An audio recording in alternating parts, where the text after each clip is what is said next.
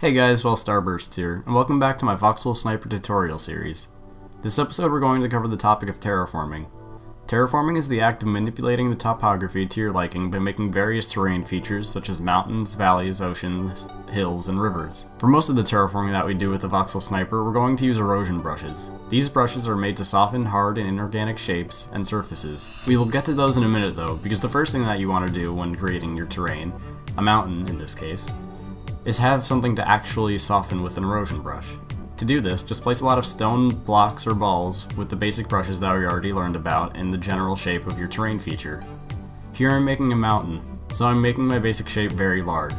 It's better to start out the basic shape using voxels, but if there are any hard corners or large flat surfaces, fill them with a ball. Also be sure that no side of the mountain is relatively flat. When you begin to erode a mountain that is flat, you will create a lot of unnatural looking lines in the terrain. To solve this, make sure that you have large and uneven facades before you start the erosion process. This will result in a more natural looking product. You're also going to want to keep the surrounding terrain in mind while you're terraforming. Be sure to blend your terrain feature into the existing ones. If you're making a mountain in a field, make sure the slope of the mountain starts gradually and increases the farther you go up. Now that we're done placing out our basic shape of the mountain, it's time that we start to use the erosion brushes. There are four erosion brush presets that are very easy to access and very helpful when terraforming. The two that we will be using now are BE Melt and BE Fill.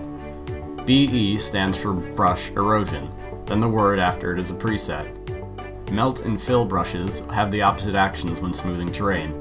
Both of them create rough edges when softening the terrain, but they make the basic shape that we first laid out more natural looking.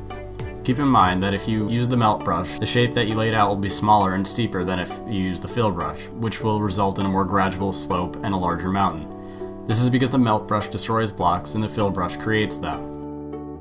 It's also useful to use the gunpowder at times, as it performs the opposite action of the arrow. If you have a tight corner that you didn't fill with a ball, or if you need to melt something that you don't want to become any smaller, using the gunpowder and the melt preset, or just the plain fill preset, are good alternatives to regular melting. When you're done with the basic shape of your terrain feature, there may be some flat surfaces that don't look very natural. Go over these surfaces with a small random erode brush or with a small melt or fill brush.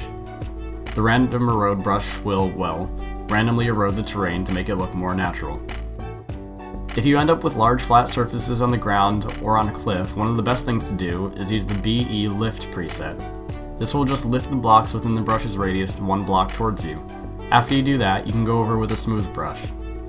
After the erosion process, you'll end up with very jagged corners for your mountain.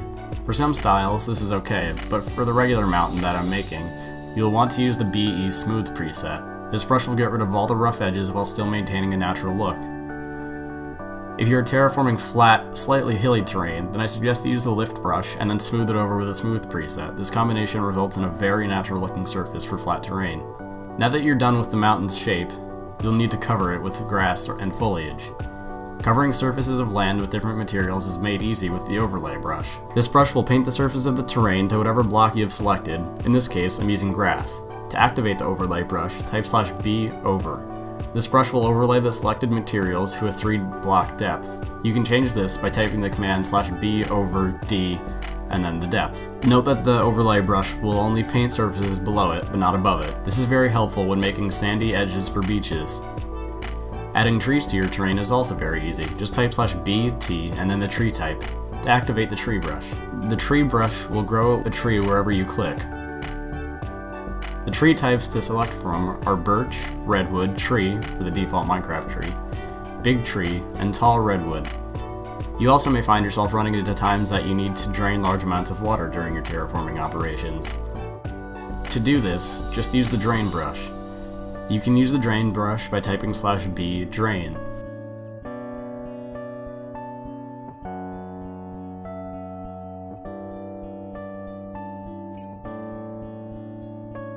Keep in mind that you can adjust all of the brushes included with the Voxel Sniper using the same commands that we learned about in the first tutorial on the Voxel Sniper basics. The command is slash B and then the brush's radius. Also, be on the lookout for my applied sniping tutorials. I'll be terraforming different terrain features and bringing you through the steps that I take to do so.